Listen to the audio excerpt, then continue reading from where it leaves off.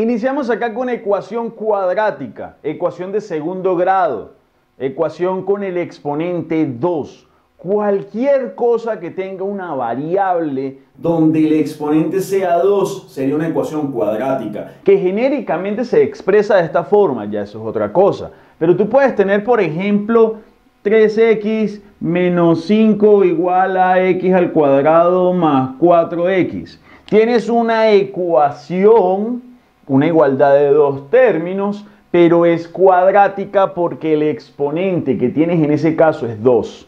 Si tuvieses esto solamente, ¿qué es lo que se hace? Se agrupa y se despeja la x, ¿cierto? Aquí no puedes despejar la x porque tienes potencia 2. Lo que puedes hacer es reagrupar los términos y organizarlos de cierta forma. Quedaría algo así.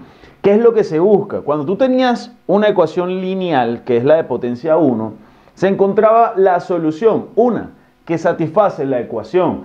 Tú despejabas el valor de x y sacabas la cuenta. Pero aquí, por tener un 2, ya no tienes una solución, tienes máximo dos soluciones. Pero vas a ver ahorita que puede darse el caso que no se tenga solución o que tenga una sola o que tenga dos. Pueden tener tres condiciones, mejor dicho, tres situaciones. Que no haya solución, que tenga una sola solución o que tenga dos soluciones. Pero el hecho de que tenga potencia 2, eso es lo que significa de fondo, que las, lo que te digo como solución es la cantidad de valores que cumplen que sea igual la condición. ¿Cómo es que se agrupa esto? Tú puedes decir, bueno, voy a dejar el x al cuadrado positivo, es decir, que lo vamos a dejar de ese lado, y este 3x pasa restando, quedaría x al cuadrado más 4x menos 3x, y este 5 que está restando pasa sumando. ¿Qué queda acá? No queda nada, cero. Entonces mira que al final, si agrupas aquí, ¿qué tenemos? x al cuadrado más x más 5 igual 0.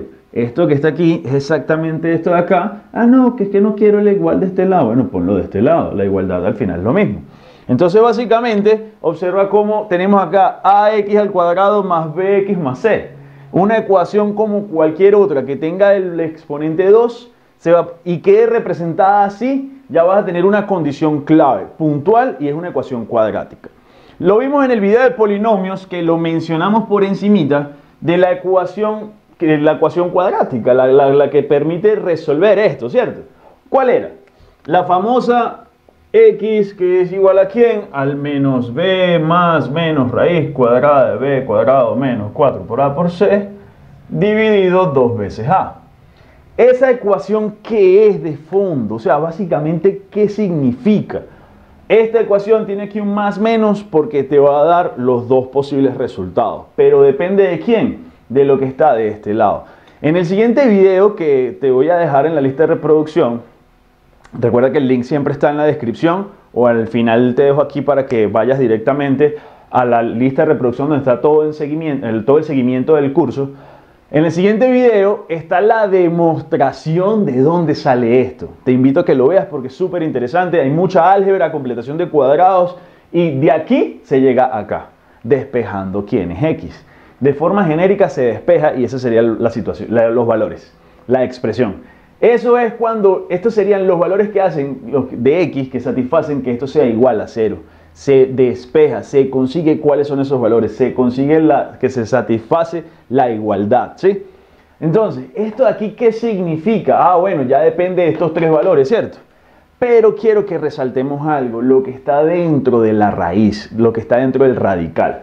Lo que está dentro del radical, voy a escribirlo acá, el famoso b cuadrado menos 4 por a por c, se le conoce, mi gente, se le conoce como el discriminante. ¿Qué significa eso el discriminante? Mira, es el que discrimina. Bueno, discriminar es seleccionar, ¿sí? Discriminar básicamente sería seleccionar, eh, separar las cosas de fondo. El, es como, ¿te viste Harry Potter de casualidad? Es como el sombrerito este de, de Hogwarts que te dice a ti, tú vas a Gryffindor, tú vas a Slytherin, etcétera ese discriminante te va a decir a ti, mira, la ecuación que tú tienes va a tener dos soluciones o va a tener solo una solución o va a tener o no va a tener ninguna. Esto que está aquí, esta belleza te va a dar a ti cuáles son esos valores. Y depende quién es A, quién es B y quién es C. Entonces, básicamente, atención acá. Si yo te digo a ti mira, la ecuación es x al cuadrado. A ver, mira cómo vamos a construir un polinomio. Yo quiero que las raíces sean 2 y 6. Vamos, mira el truco para los profesores.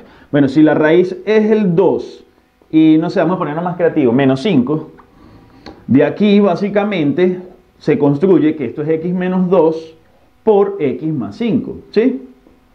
Porque la raíz de este sería el 2 y la raíz de este es el menos 5. ¿Ya viste en polinomios esto? Entonces, después, ¿qué hacen los profes? Bueno, vamos a multiplicar aquí distributivamente y quedaría el x al cuadrado menos 2 más 5 es 3, me quedaría 3x y menos 2 por 5 daría menos 10. Ah, mira, ya conseguí entonces el polinomio que voy a utilizar en la prueba. x al cuadrado más 3x menos 10 y el profe te pide a ti que consiga las soluciones. Él la pone primero y devuelve para saber cuál era el polinomio, ¿no? Entonces, borremos acá. Los valores de a, b y c, ¿quiénes serían? a, por ser el coeficiente siempre de la potencia mayor, va a ser 1, en el ejemplo que estamos utilizando, b es 3 y c es menos 10. ¿Qué pasa? Tú puedes colocar estos tres valores aquí para calcular ya cuáles son las dos raíces, las dos soluciones. Mira cómo conecta esto con polinomio. Las dos soluciones de esa ecuación cuadrática. Pero tú puedes, antes de resolver todo eso, meterlos aquí en el discriminante primero para saber si tiene una, dos o ninguna solución. ¿Quién es A, B y C? Tú sabes que A es el 1, el B sabes que es 3 y el C sabes que es menos 10. El discriminante sería b al cuadrado menos 4 por a por c. b es 3, ponlo acá. 4 por a, que sería el a es 1, por c, cuidado con los signos, es menos 10. Y tú sacas la cuenta. 3 al cuadrado serían 9 menos por más por menos, a da un más, porque el menos es del 4 y aquí tú tienes un producto y todo esto va a mantener un signo 4 por 1 por 10 es 40. Menos por más por menos da más. Y mira que 9 más 40 sería 49. ¿Qué acabamos de obtener? Lo que está dentro del discriminante dio 49. Si este valor es positivo va a significar algo. Si este valor que el resultado es negativo va a significar otra cosa. Y si es igual a 0 también. Atención. Eso nos dio 49. Mira que todo esto que dio 49 es lo que está dentro de la raíz. Y la raíz cuadrada de 49 existe. De hecho es un cuadrado perfecto, que sería 7. Entonces, ahí viene el caso. Si el discriminante, vamos a llamar a esto, vamos a ponerlo aquí genérico. Si b cuadrado menos 4 por a por c es mayor que 0, es decir, es positivo el resultado, si es positivo, vas a tener dos soluciones. ¿De acuerdo? Lo vamos a escribir así. Pero si el discriminante b cuadrado menos 4 por a por c es negativo, ¿qué pasa si tú tienes la raíz cuadrada? Lo vimos en radicación. Raíz cuadrada, un número negativo. Tú dices, no existen los números reales eso. Por lo tanto, si no existe y la raíz cuadrada un negativo no tiene solución, tú dices aquí, ya automáticamente, si el discriminante es negativo, no tiene solución. No hay valor en los números reales que cuando tú lo sustituyas aquí eso de igual a cero. ¿Y depende de quién? Del discriminante. ¿Va quedando claro el asunto? Ahora la última condición. tenemos cuando es mayor que cero y menor que cero. La última condición es cuando b cuadrado menos 4 por a por c es igual a cero, que es la tercera condición. ¿Qué pasa si eso es igual a cero? Mira esto. Si esto es igual a cero, la raíz cuadrada de cero, y lo voy a borrar a propósito, mira, la raíz cuadrada de cero es cero está sumándole a estos cero, es decir, que queda intacto. ¿Qué estamos teniendo? Menos b sobre 2a. Se acabó el más menos, no hay más nada. Tienes una sola solución. Si el discriminante es 0, la solución automáticamente es menos b sobre 2a. Agarras el valor de b, lo multiplicas por menos entre 2a y esa es la solución. Ese es el valor que hace que, que esta ecuación sea igual a 0. Es decir, que tiene una sola. Conclusión, cuando el discriminante es igual a 0, tiene una solución. Básicamente eso es lo que busca el discriminante, seleccionar la cantidad de soluciones que puede tener tu ecuación cuadrática. Para el ejemplo que tuvimos, este de acá, que queremos saber cuándo esto sería igual a 0, para ese ejemplo nos dio 49. Conclusión, tiene dos soluciones. ¿Y te acuerdas cuáles eran? Las que colocamos en el tablero al principio, en el pizarrón al principio. Cuando tú lo factorices y sacas la cuenta, consigues las dos soluciones que utilizamos, ¿sí? Que eran el 2 y el 5. ¿Te acuerdas? el 5 positivo y el 2 era el negativo, ¿no? Ahí básicamente tú metes los valores. Echa hacia atrás el video, que ya me acuerdo más o menos cuáles fueron los que utilizamos. Esto si aplicamos factorización, si aplicamos factorización y conectamos con lo que vimos en la parte previa de álgebra, esto era x, x, los valores serían más, menos, como aquí queda positivo, 5 y 2. Utilizamos como raíz 2 positivo y 5 negativo. Mira que 5 menos 2 es 3 y 5 por menos 2 es menos 10. El valor que hace 0 este es menos 5 y el que hace 0 este sería el 2 positivo.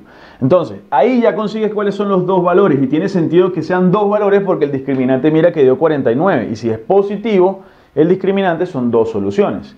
De ahí sacas información. El discriminante prácticamente lo dice absolutamente todo. Entonces, ¿cuál es mi invitación? A partir de este punto, a partir de este momento, la invitación es que tú comprendas que lo que busca la ecuación cuadrática es que va a tener o dos soluciones, o una sola solución, o ninguna, dependiendo de quién, de esta belleza que está aquí adentro, que es el discriminante. Esta es la parte conceptual. Ahorita en el próximo video vamos a ver qué pasa con los valores de A, B y C. Si el valor de A, B y C tienen ciertas condiciones, ¿cómo se va observando eso ya a nivel gráfico? Vamos a ir conectando poco a poco para empezar a hablar de funciones luego de toda esta parte conceptual de álgebra. ¿Qué significa cuando A es positivo, si A es negativo? cómo altera esos valores y cómo altera lo que es la solución final.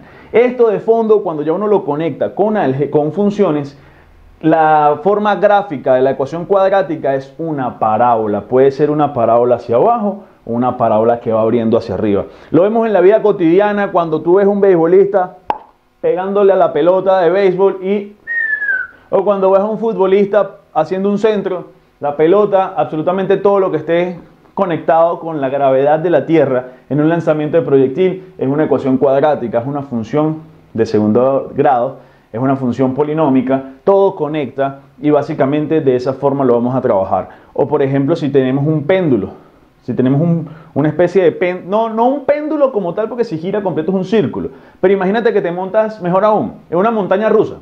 Tú te montas en una montaña rusa y tienes esa curva Básicamente se representa de esta manera. Muchas cosas a nivel de la vida cotidiana se pueden representar con una ecuación cuadrática y la gráfica se va a tener basado en esto y es una parábola de fondo. Entonces, lo que quiero que quede claro en este video sería qué es la ecuación cuadrática, cuál es la solución, cuál es la forma de representar eso y qué significa el discriminante, para qué se utiliza esto y de qué forma va a seleccionar si tiene dos, una o ninguna solución. ¿sí? En el siguiente video la demostración de dónde sale esto. Chao. No olvides suscribirte y la lista de reproducción para que veas el siguiente video.